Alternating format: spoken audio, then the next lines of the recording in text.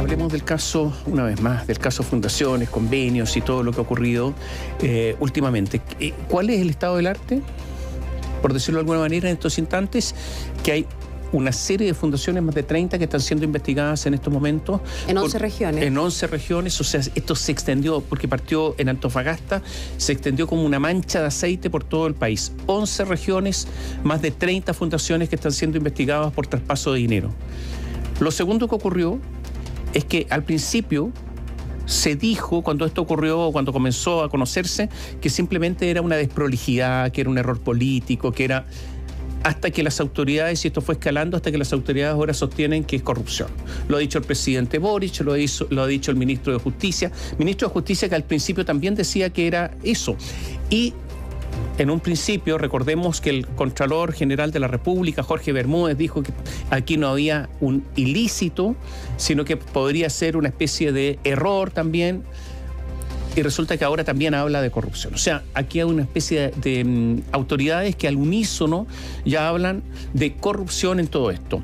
Se ha dicho además que eh, se le informó al presidente de la República, Gabriel Boric, por parte del ministro de Justicia, Luis Cordero, que se podía hablar de corrupción porque no necesariamente la corrupción es un delito específico, sino que es un concepto mucho más amplio. En un principio se dijo que esto estaba radicado en el Ministerio de Vivienda y Urbanismo y después escaló además a los gobiernos regionales, que en virtud de la elección de gobernadores, recordemos que tenemos hoy día en el país por primera vez autoridades regionales electas y no designadas por el presidente de la República. Y cuando se eligieron los gobernadores regionales, además se le otorgaron algunas facultades, incluso se dijo que eran pocas facultades. Se advirtió que en muchos países la descentralización, que es algo bueno, sí llevaba a corrupción. ¿Por qué? Porque normalmente cuando los recursos están centralizados hay mayor capacidad de control que cuando están descentralizados, porque hay que empezar a controlar en distintos lugares del territorio, en distintas ciudades. Bueno, resulta que pese a que no se le dieron tantas facultades como querían, los gobernadores sí tienen muchísima capacidad para asignar recursos. Y resulta que se descubrió que no solamente entonces había dineros que provenían del Ministerio de la Vivienda y Urbanismo hacia fundaciones, sino que también de gobiernos regionales. Y cifras importantísimas, porque hay muchísimo dinero que manejan y que por lo tanto pueden distribuir. Ahora, aquí hay otras situaciones que, no se han investigado, lo que está pasando con los municipios y la repartija de dinero a, través de los municipios. De eso no hay absolutamente nada. Pero si alguien mirara todo eso y lo fiscalizara, seguramente nos encontraríamos con sorpresa. Más allá de lo que ha ocurrido, por ejemplo, con las fundaciones de Vitacura y con el alcalde Torrealba el exalcalde Torrealba, Raúl Torrealba, que recordemos eh, la acusación es, que se embolsaba plata por parte de las fundaciones, de parte de las fundaciones que dependían del municipio.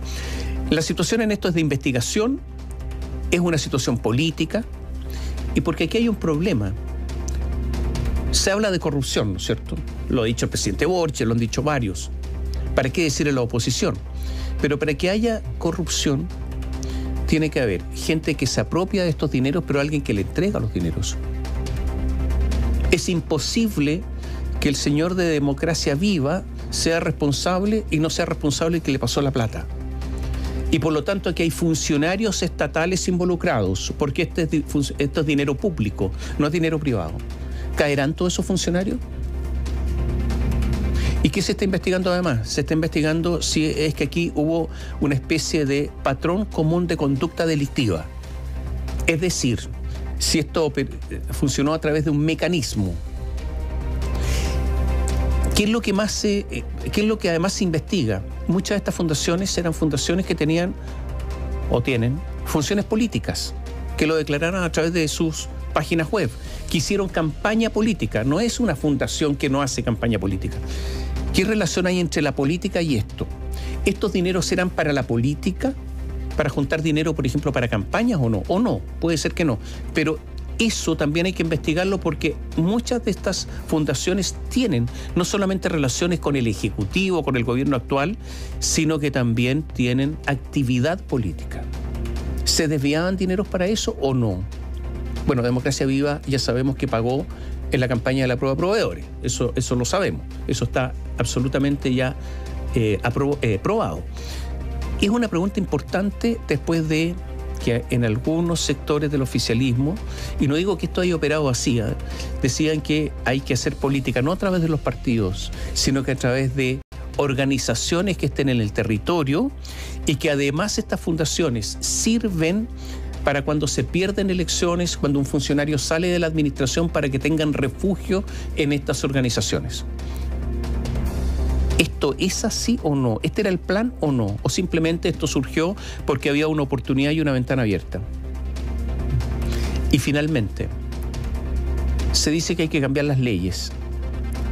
¿Es que hay que cambiar las leyes o es que las leyes no operaron por decisiones administrativas? Y si es que operaron por decisiones administrativas, porque así es, es porque había un plan para no fiscalizar o es que simplemente, inocentemente, algunas autoridades estimaron que había que dar celeridad.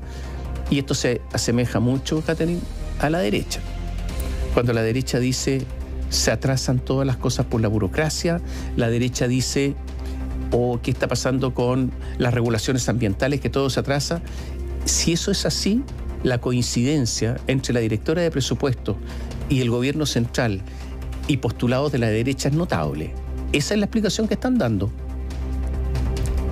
O sea, muchas contradicciones entre medios, eso es lo que quiero decir. Una supuesta idea muy loable en relación a dar mayor eh, autonomía a las regiones, en relación a darle efectivamente el poder de poder traspasar dinero sin tener que preguntar por todo hacia el gobierno central, finalmente se está dando como una explicación respecto de lo que puede haber sucedido con estas fundaciones y estos traspasos millonarios. Fundaciones además si bien no todas, pero muchas de ellas tienen pecados de origen, ¿no? que son lo que decías tú, algunas con eh, más bien ideal u objetivo político, otras que nacieron hace muy poco tiempo, otras... Eh, que efectivamente tienen un giro que va para todo, como ayuda al prójimo. En fin, son fundaciones que llaman la atención y que obviamente están involucradas en estos casos. Vamos a ir revisando y desglosando cada uno de los casos que conocemos hasta ahora, los que son más emblemáticos. Obviamente vamos a poner énfasis en lo que sucede en los lagos, en donde hay una persona que está en... Em, en prisión preventiva, que es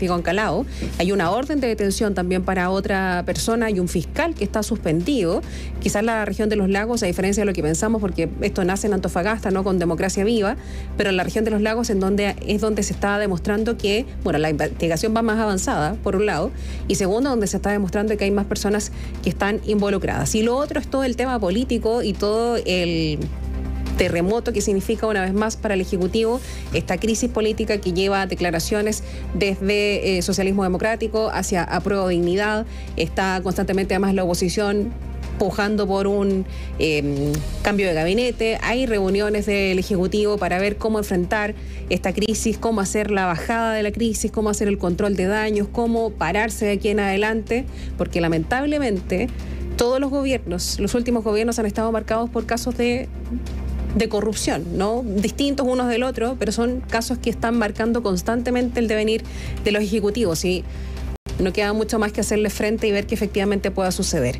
Hablemos de la parte política. Hay dirigentes de la oposición que reiteraron el llamado al gobierno a establecer responsabilidades políticas, por este caso convenios o, o fundaciones o convenios con fundaciones, y que el presidente Gabriel Boric realice un cambio de gabinete. Este jueves, en tanto, se discutirá si Revolución Democrática será excluido o no como querellante en la causa Democracia Viva. Daniela Ruiz Tagle, muy buenos días. Hola Daniela. ¿Cómo están ustedes? Muy buenos días, transcurridos ya casi dos meses desde que se conocieron los primeros antecedentes de Democracia Viva. Este jueves 10 de agosto se va a desarrollar la primera audiencia del caso eh, Fundaciones. Estamos hablando del caso relacionado principalmente a Democracia Viva y será en el eh, juzgado de garantía de Antofagasta. Hasta el momento, 33 fundaciones en 11 regiones del país están siendo investigadas por parte del Ministerio Público y en la lista administrativa 29 convenios han sido declarados hasta ahora ilegales por la Contraloría General de la República. Las diligencias han establecido cuatro ejes investigativos, poniendo mayor observación en la ausencia de boletas de garantía, la amplitud en los giros de servicios, eh, posibles conflictos de interés y también la antigüedad de funcionamiento de las instituciones. Otra decisión fue establecer un fiscal designado a cada región eh, y eh, se espera que eh, finalmente se realice todo lo que estuvimos hablando anteriormente. A esto se refirió el ex fiscal regional de O'Higgins, Luis Toledo. Este señaló que en este caso hubiese sido preferible establecer un único persecutor con el fin de evitar pérdidas de información. Lo normal si tú ves en la historia del Ministerio Público y otros casos similares, cuando tienes tu presencia de, de, actores delictivos en distintas regiones del país o presuntamente delictivos, lo lógico es que se ocupe el artículo 19 de la ley orgánica y se nombre a un fiscal regional para investigar todos los casos que son relativamente comunes. El riesgo de empezar a investigar en forma separada es perder información. Hasta el momento, hasta el momento la Fiscalía estaría ya investigando los posibles delitos de fraude al fisco, negociación incompatible, tráfico de influencias y malversación de caudales públicos. Pero vamos a pasar de lo que es la arista judicial, ¿no es cierto? Que por supuesto es muy relevante, pero vamos a pasar a la arista más política. ¿Por qué? Porque la oposición todavía está pidiendo responsabilidades realmente políticas. Acá se dice no vale la pena pedirle la renuncia a pequeñas autoridades, dicen algunos, como por ejemplo Ceremi, subsecretarios. Acá tiene que eh, pedirle la cabeza, dice eh, la oposición, al ministro Giorgio Jackson, al ministro de eh, Vivienda Carlos Montes. Este fin de semana se registró una especie de contradicción entre ambos ministros. todo esto luego de esta decisión del Consejo de Auditoría en junio del 2022, cuando Giorgio Jackson era ministro de la SECPRES, de solicitar, dejar de solicitar los reportes de las transferencias a terceros. ¿Qué es lo que dijo el ministro eh, de Vivienda, Carlos Montes, respecto a este tema? sostuvo que podría haberse sabido más tempranamente todo sin ese cambio, todo esto en medio del caso Fundaciones. Escuchemos cuáles fueron las palabras del ministro de Vivienda y Urbanismo, Carlos Montes. Yo no soy un experto en esta materia, pero todo lo que oído de expertos que efectivamente eso hubiera dado luces más más anticipadas de, los riesgos que se estaban corriendo y los hechos que podrían ocurrir. Espero que eso se revise y se replantee. ¿Un error?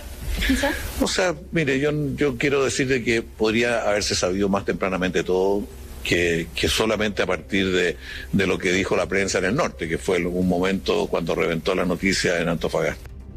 Estamos hablando de un cambio de criterio que eh, se dio en junio del 2022, eh, del año pasado, eh, por parte de este Consejo de Auditoría del Estado, que depende de la SECPRES. Y en ese entonces, junio del 2022, la SECPRES era liderada por Giorgio Jackson, quien ahora es ministro de Desarrollo Social. En esta se instruyó que cuestiones, por ejemplo, como transferencias, no tenían que ser reportadas y esto finalmente flexibiliza la supervisión de de traspaso de fondos. El eh, ministro Carlos Montes luego se retractó de estos dichos y a través de un comunicado eh, trató de aclarar lo que quiso indicar. Dijo, habiendo recabado toda la información, quiero señalar que por ser muy agregada no habrían permitido determinar potenciales irregularidades específicas del caso convenios. Dice, me referí en términos generales al rol que considero debe cumplir y de ahí la importancia de fortalecer esta institucionalidad para contar con herramientas más robustas de control interno. Eh, pero sin duda este tema ya en la lista política dicen en la oposición hacen inminente la necesidad de un cambio de gabinete. El eh, diputado del Partido Comunista Boris Barrera se refirió al respecto. Esto no tiene nada que ver con un, con un cambio de gabinete. Aquí claramente ha habido problemas de probidad y de eso se tiene que hacer cargo la justicia y eso creo que es independiente al trabajo que están realizando los ministros y las ministras. La derecha está aprovechando políticamente para golpear al gobierno y en esa línea también habló la diputada de Convergencia Social, Gael Yomans. Ella hizo alusión a una rencilla política. La verdad, esta rencilla, estos gallitos políticos que se tratan de hacer para sacar a un ministro, hacer cambios de gabinete, a quien estamos hablando, ¿cierto?